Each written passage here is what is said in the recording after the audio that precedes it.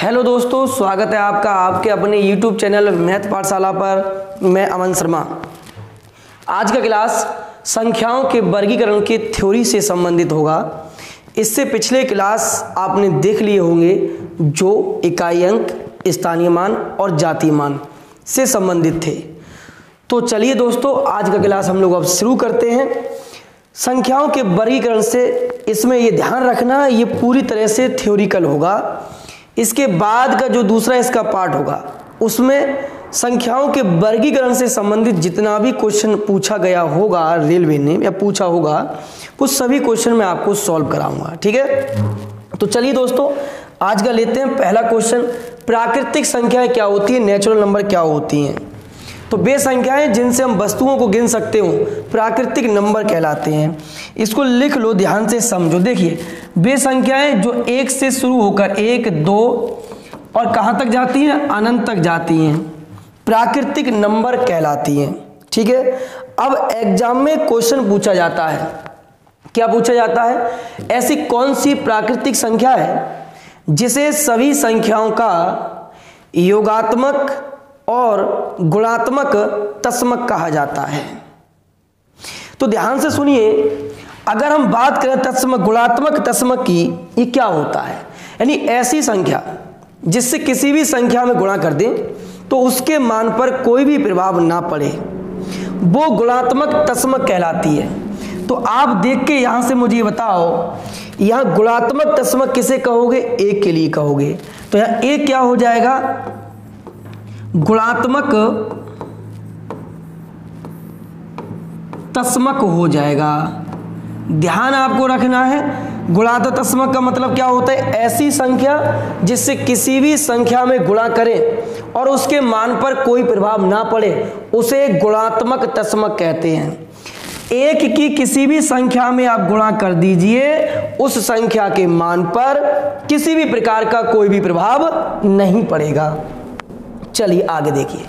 दूसरा है आपका पूर्ण संख्याएँ। पूर्ण संख्याएँ क्या होती हैं? जब प्राकृतिक संख्याओं को ज़ीरो से शुरू कर दें तो वो जो समूह होगा आप, वो पूर्ण संख्याओं का समूह कहलाएगा। देखिए कैसे। ज़ीरो से लिखना शुरू करिए। ज़ीरो, एक, दो, तीन, और ये कहाँ तक जाएगा? अनंत तक जाएगा। ये क्या हो गया आपका? पूर्ण संख्याओं का समूह हो गया। पूर्ण संख्याएँ हो गई। होल नंबर हो गया। अब बहुत ध्यान से समझना है। एग्ज़ाम में क्वेश्चन आएगा, ऐसा कौन सा संख्या है या नंबर है जो किसी भी संख्या का योगात्मक तस्मक है? मैंने क्या बताया पीछे? योगात्मक तस्मक किसे कहते हैं? जिसको किसी भी संख्या में जोड़ दिया जाए तो उसके मान पर कोई भी प्रभाव ना पड़े, उसे योगात्मक तस्मक कहेंगे।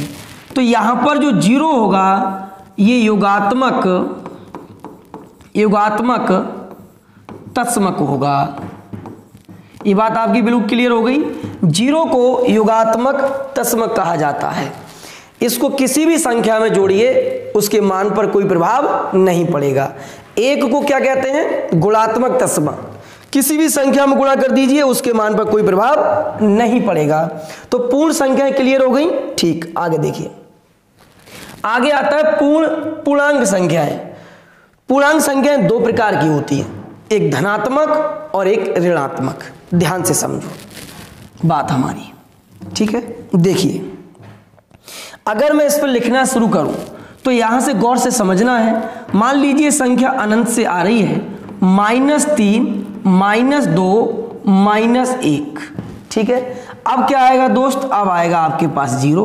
अब क्या होगा? प्लस एक, प्लस दो और इस प्रकार से कहाँ तक जाएगा? अनंत तक। जब प्राकृतिक संख्याओं को प्लस या माइनस से दर्शाया जाता है तो वे संख्याएँ पूर्णांक संख्याएँ कहलाती हैं।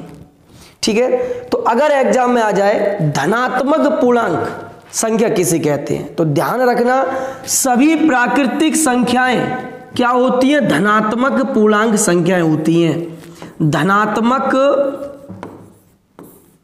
पूर्णांक संख्या कौन सी होती है? तो याद रखना है, सभी प्राकृतिक संख्याएँ, सभी प्राकृतिक संख्या क्या होगी? धनात्मक पूर्णांक होगी। अब क्वेश्चन एग्ज़ाम में ये बनेगा, ज़ीरो क्या है? ज़ीरो धनात्मक पूर्णांक है या ऋणात्मक पूर्णांक है?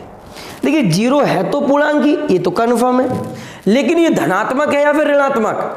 तो ध्यान रखना दोस्तों, ज़ीरो ना तो धनात्मक पूर्णांक है और ना ही ऋणात्मक पूर्णांक है। इसको सिर्फ़ पूर्णांक माना गया है, लेकिन धनात्मक और ऋणात्मक में नहीं रखा गया है। तो ये भी यहाँ पर नोट करके लिख लीजिए अपने पास। देखिए, लिख लो, शून्य शून्य, धनात्मक धनात्मक व ऋणात्मक पूर्णांक पूर्णांक नहीं है। इसे सिर्फ़ पूर्णांक माना गया है। इसे सिर्फ़ पूर्णांक माना गया है। बात क्लियर हो गई? तो ध्यान से समझिए फिर से एक बार। पूर्णांक संख्याएँ क्या होती हैं? वैसी संख्याएँ, वैसी प्राकृतिक संख्याएँ जिनको धनात्मक या ऋणात्मक से दर्शा दिया जाए, वो सभी संख्याएँ पूर्णांक होंगी। तो धनात्मक पूर्णांक किसे कहते हैं? तो सभी प्राकृतिक संख्या धनात्मक पूर्णांक है। ये ध्यान, और ज़ीरो क्या है? तो ज़ीरो के लिए ये ना तो धनात्मक पूर्णांक है और ना ही ऋणात्मक पूर्णांक है। तो अब एग्ज़ाम में यदि पूछेगा तो किस प्रकार से पूछेगा? तो याद रखना है, ज़ीरो के लिए उदासीन पूर्णांक कहते हैं। क्या कहते हैं? उदासीन पूर्णांक। तो ज़ीरो क्या हो जाएगा? ज़ीरो हो जाएगा उदासीन पूर्णांक। ना तो धनात्मक पूर्णांक है और ना ही ऋणात्मक पूर्णांक है। तो ज़ीरो क्या है? एक उदासीन पूर्णांक है। बात क्लियर हो गई? चलो, अब आगे बढ़ते नेक्स्ट देखिए भाई। नेक्स्ट आता है आपका परमय संख्याएँ बहुत ईजी है। वैसी संख्याएँ जिनको एक भिन्न के रूप में लिख सकते हो, वो सभी संख्याएँ परमय संख्या होंगी। इनके डेफिनेशन में लिख देता हूँ। वे सभी संख्याएँ, वे सभी संख्याएँ वे सभी संख्या जो भिन्न के रूप में, भिन्न के रूप में लिखी जा सके। लिखी जा सके। लेकिन ध्यान रखना दोस्तों, यानी भिन्न के रूप में लिखी जा सके। ऐसे मान लीजिए P बट्टा क्यू के रूप में लिख सकते हो, लेकिन Q कभी भी क्या ना हो, ज़ीरो ना हो। यदि Q ज़ीरो हो जाएगा तो ये पूरा मान अनंत बन जाएगा। तो कभी भी हर को ज़ीरो ना होना चाहिए ध्यान रखना। हर कभी भी ज़ीरो ना हो, इस बात को आप अवश्य याद रखना है। अब देखिए इसका एग्ज़ाम्पल ले लेते हैं हम लोग। तो एग्ज़ाम्पल के रूप में यदि हम बात करें तो चार बटे पाँच क्या है? एक परमय संख्या है। ठीक है। अगर मैं ओनली तीन लिख दूँ तो ये भी एक परमय संख्या है, क्योंकि अगर तीन के बटे में एक लगा दोगे, वो पी बटा क्यू बन जाएगी ना। तो इसलिए ओनली अगर हम तीन लिख रहे हैं तो ये भी क्या है? एक परमय संख्या है। और यदि मैं रूड पाँच लिख देता हूँ तो अब ये परमय संख्या नहीं होगी, क्योंकि इसको भिन्न के रूप में नहीं लिख सकते हैं। आगे बढ़िए। अगर मैं लिख दूँ रूड 25 तो अब यह परमय संख्या है। रूड 25 का मान प्लस माइनस पाँच होगा। प्लस माइनस से फ़र्क नहीं पड़ेगा, एक बार ध्यान रखना है। रूड 25 का मान जो वैल्यू होगी, वो क्या होगी? पाँच होगी।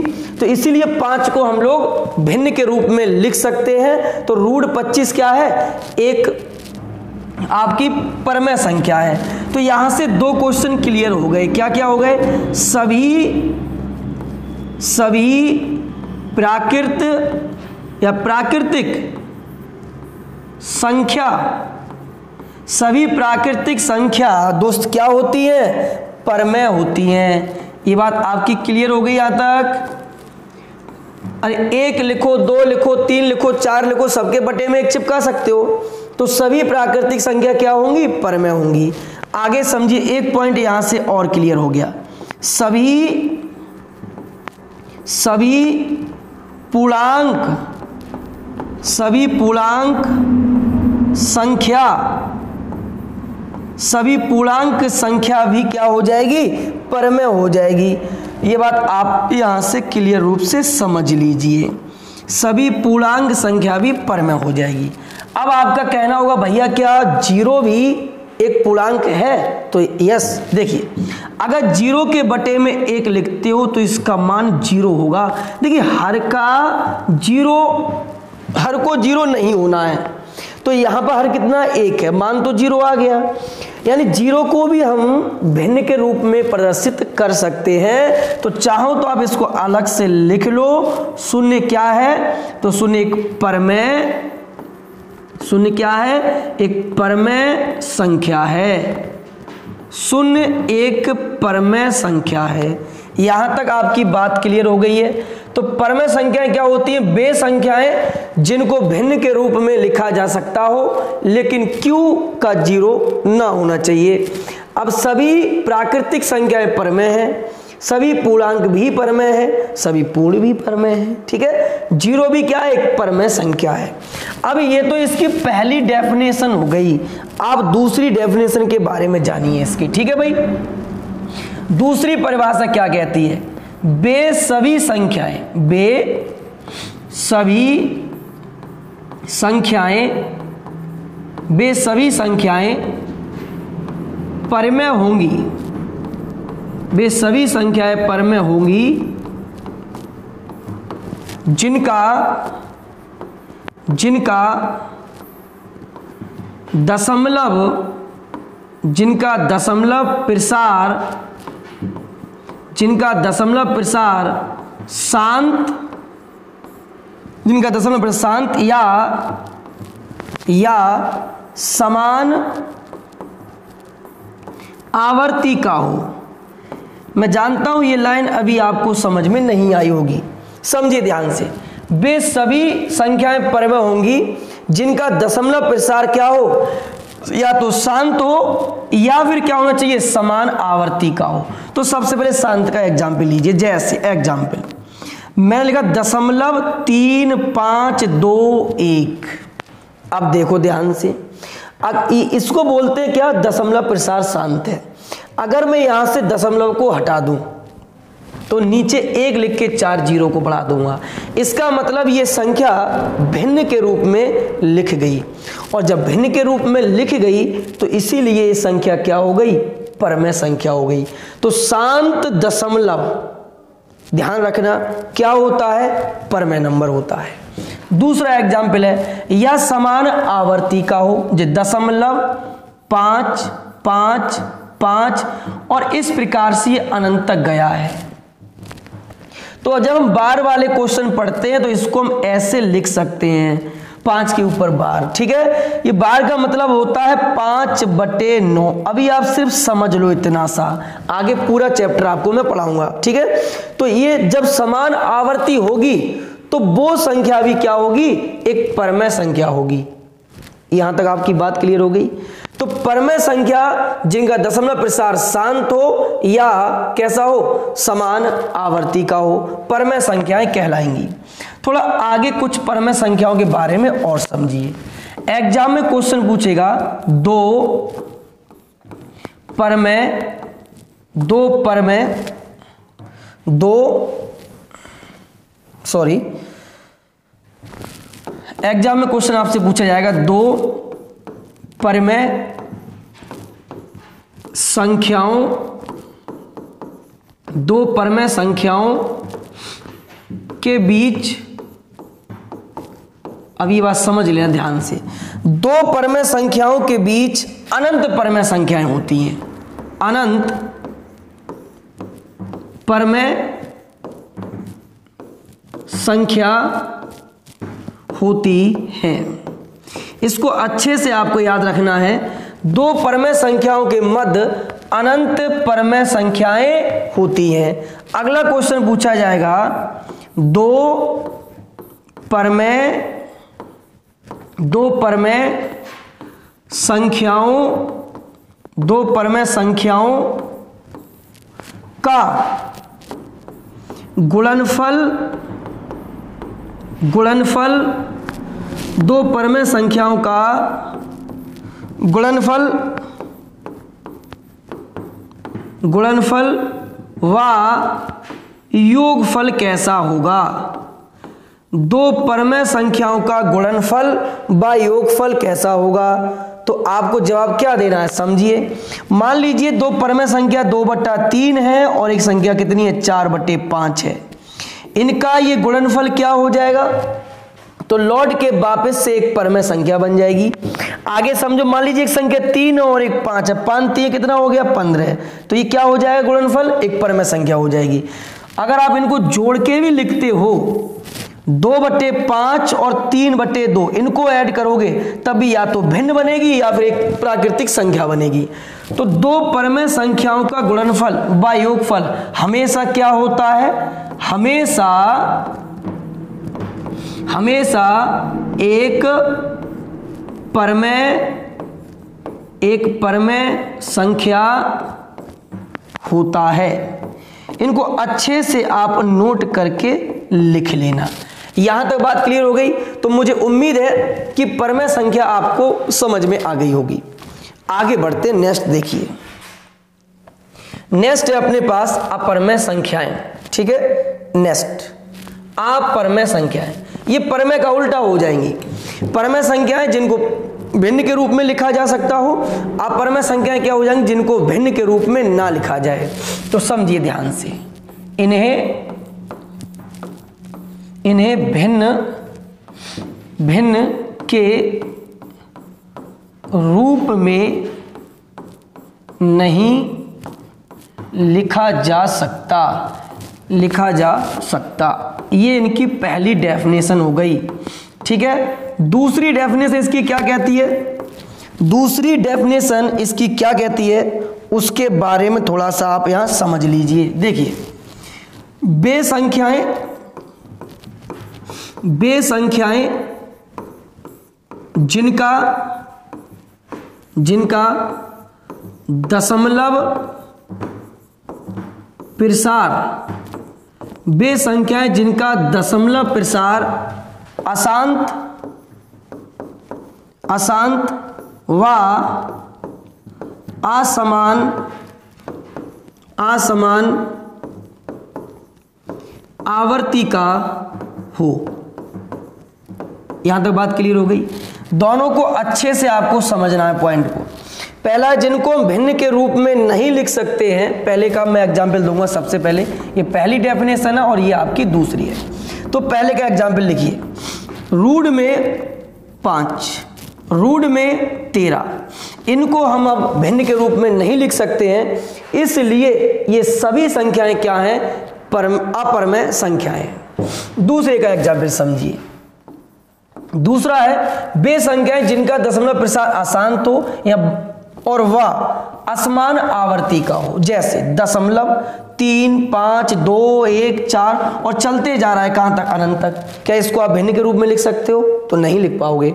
भिन्न के रूप में जब ही लिख सकते हो, जब दशमलव इसका शांत होता या फिर समान आवर्ती का होता। आगे समझो। दशमलव चार, पाँच, तीन, एक, कुछ भी लिखते चले जाओ और डेड डेस कहाँ तक? अनंत तक। तो यहाँ भी समान आवर्ती नहीं है। तो ये क्या हो गया? अशांत दशमलव हो गया असमान आवर्ती हो गई। इन सभी संख्याओं को अपरमय संख्याएँ कहते हैं। बात क्लियर होगी यहाँ तक? ठीक है, आगे बढ़िए। नेक्स्ट नेक्स्ट समझिए भैया, ठीक? देखो, कहेगा, एक परमय एक परमय संख्या व एक अपरिमय संख्या अपरमय संख्या का योग का योग। एक परमय संख्या और एक अपरमय संख्या का योग। ध्यान रखना हमेशा और हमेशा अपरमय संख्या होगा। क्या होगा? अपरमय संख्या। ये हमेशा अपरमय संख्या रहेगा, ठीक है?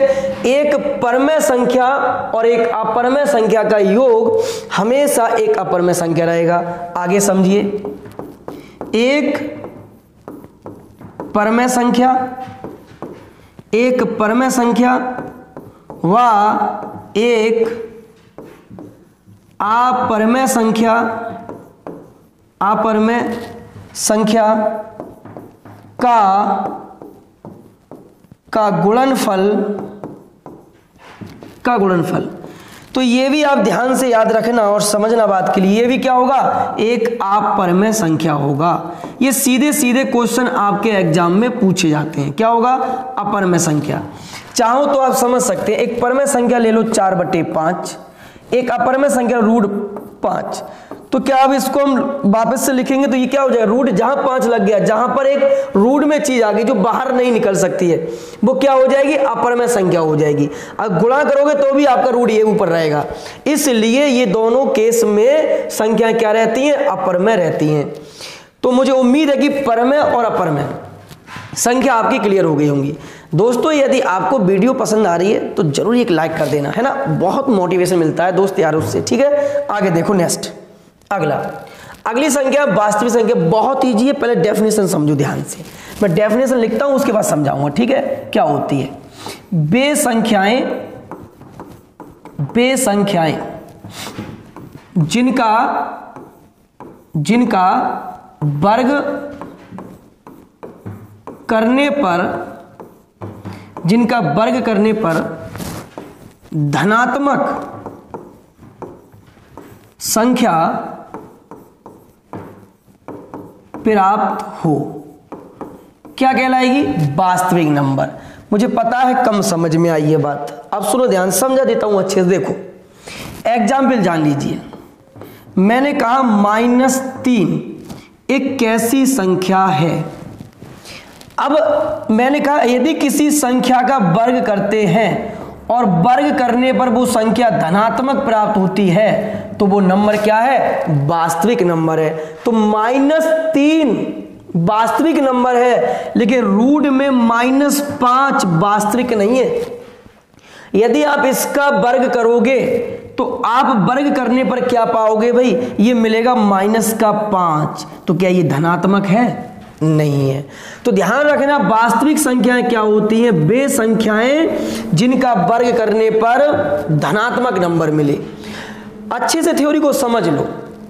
अगला पार्ट जो आएगा, उसमें क्वेश्चन भी सॉल्व कराऊँगा और चीज़ें अच्छे से क्लियर होंगी।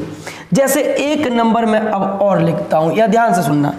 मैंने लिखा माइनस रूट दो। एक कैसी संख्या है? तो अब पहचानो, मैंने कहा, वर्ग करने पर धनात्मक नंबर मिल जाए तो यदि मैं इसका अब एक वर्ग कर दूँ यहाँ से तो हमें क्या मिलेगा? माइनस का प्लस हो जाएगा और ये दो का मिलेगा, प्लस का दो। तो ये क्या हो गया अपना यहाँ से? धनात्मक नंबर मिला तो वास्तविक नंबर हो गया। तो बे सभी संख्याएँ जिनका वर्ग करने पर एक धनात्मक नंबर मिले, वास्तविक संख्याएँ होती हैं। अब सुनो आगे, यहाँ से तुम क्या समझे? तो सभी प्राकृतिक संख्याएँ वास्तविक नंबर होते हैं, क्योंकि सभी प्राकृतिक संख्याएँ क्या होती हैं? धनात्मक होती हैं। तो यह ध्यान सुन लेना, सभी सभी प्राकृतिक संख्या, सभी प्राकृतिक संख्या, सभी प्राकृतिक संख्या वास्तविक वास्तविक संख्या है। यदि पूछ ले, सभी धन पूर्णांक संख्याएँ कैसी हैं? वास्तविक हैं। सभी ऋण पूर्णांक संख्याएँ कैसी हैं? वास्तविक हैं। ये बात क्लियर है? जैसे माइनस तीन है। यदि आप माइनस तीन का वर्ग करोगे तो भी आपको क्या मिलेगा? प्लस का नौ मिल जाएगा। तो सभी धनात्मक पूर्णांक वास्तविक, सभी ऋणात्मक पूर्णांक वास्तविक। ये बात यहाँ तक क्लियर है ना आपकी? ठीक है। अब आगे बढ़ते हैं, दूसरा आता, वास्तविक संख्या क्लियर हो गई। अगली आती है आपकी अवास्तविक संख्या या काल्पनिक नंबर। तो पहले डेफिनेशन लिख लेता हूँ, उसके बाद समझा दूँगा। देखिए, बे सभी संख्याएँ, बे बे वे सभी संख्याएँ, वे सभी संख्या जिनको जिनको वर्ग जिनको वर्ग करने पर एक ऋणात्मक एक ऋणात्मक संख्या प्राप्त हो। वो सभी संख्याएँ क्या होंगी? अवास्तविक संख्याएँ होंगी। अब कैसे तुम्हें ये समझना है? एक एग्ज़ाम्पल से समझो। मैंने लिखा रूट में माइनस का पाँच। अब देखो, यदि आप इसका वर्ग करते हो तो आपको क्या मिलेगा? तो आपको मिलेगा माइनस का पाँच। ये क्या है? एक ऋणात्मक है। और ऋणात्मक संख्या यदि प्राप्त होगी तो वो संख्या कैसी होगी? काल्पनिक नंबर होगा अवास्तविक संख्या होगी। ये बात क्लियर है? आगे समझिए ध्यान से यहाँ पर एक बात और। जैसे मैंने लिखा रूड में माइनस सात। यदि आप इसका वर्ग करोगे तो यहाँ से कितना मिलेगा भाई? तो माइनस का सात मिलेगा। ये क्या है? एक ऋणात्मक नंबर है। तो ये क्या हो गई? अवास्तविक संख्या हो गई। ये बात क्लियर है? ठीक, आगे समझो। थोड़ी सी बात एक और समझो एग्ज़ाम में, जहाँ से क्वेश्चन बनते हैं। मैं कल क्वेश्चन आपको करा है, उस बात को सुनिए ध्यान से। देखो, यदि काल्पनिक यदि काल्पनिक नंबर की पावर एक सम नंबर है तो हमें क्या प्राप्त होगा? यदि काल्पनिक नंबर की पावर एक विषम नंबर है तो हमें क्या प्राप्त होगा? एक कैसी संख्या प्राप्त होगी? इन दोनों ही कॉन्सेप्ट को बड़े ही प्यार से तुम्हें समझना है, ठीक है? देखो, छोटा सा एग्ज़ाम्पल काल्पनिक नंबर, यानी हम लेते हैं पाँच, की पावर यदि सम नंबर है तो स्क्वायर ठीक है? तो एक कैसी संख्या हमें प्राप्त होगी? तो यदि मैं इसका स्क्वायर कर दूँ तो कितना मिलेगा? माइनस का पाँच मिलेगा। लेकिन अभी ये काल्पनिक और वास्तविक, अभी ये पहचान नहीं है। काल्पनिक और वास्तविक की पहचान कब होती है? जब उसका स्क्वायर करके हम चेक करते हैं। यदि मैं इसका भी स्क्वायर कर दूँ तो कितना मिलेगा? प्लस का पच्चीस। तो ये बात तुम समझ गए होगे। यदि काल्पनिक नंबर की पावर एक सम नंबर है तो संख्या कैसी मिलेगी हमेशा? वास्तविक संख्या मिलेगी। मुझे पता है, अभी कम समझ में आया होगा। दोबारा रिपीट करता हूँ। देखिए, समझो। जैसे, मैंने लिखा रूट पाँच की तो क्या आप इसका पावर एक हज़ार चौबीस कर पाओगे? नहीं कर पाओगे। तो आपको क्या करना है? डायरेक्ट ही इन बातों को याद रख लेना है। यदि काल्पनिक नंबर की पावर सम नंबर है तो क्या मिलेगा? वास्तविक। यदि काल्पनिक नंबर की पावर विषम नंबर है तो क्या मिलेगा? आपको हमेशा काल्पनिक नंबर मिलेगा। एग्ज़ाम्पल छोटे से सवाल से समझिए। रूट में माइनस दो की पावर कितना दे देते हैं? विषम नंबर ले लो कोई सा भी। हम मान लेते तीन हमने ले लिया यहाँ से। विषम नंबर है। इसकी पावर जब आप तीन करोगे तो क्या होगा? दो रूड माइनस का दो होगा। होगा या नहीं? ठीक है। अब ये ये वास्तविक और काल्पनिक की ये पहचान नहीं है। वास्तविक और काल्पनिक वर्ग करके पहचाना जाता है। यदि वर्ग करने पर धनात्मक है तो वो वास्तविक। वर्ग करने पर ऋणात्मक है तो वो काल्पनिक। यदि मैं अब इसका स्क्वायर करूँगा तो दो का स्क्वायर चार और इसका होगा माइनस दो। यहाँ से कितना मिला? माइनस का आठ। देखो ये क्या है? ये एक ऋणात्मक नंबर है और ऋणात्मक नंबर होगा कब? जब वो संख्या होगी काल्पनिक। आगे बात सबको समझ में। तो एग्ज़ाम में बहुत ही सुंदर सुंदर क्वेश्चन इसके ऊपर बनते हैं। उसकी चर्चा हम कल के क्लास में करेंगे।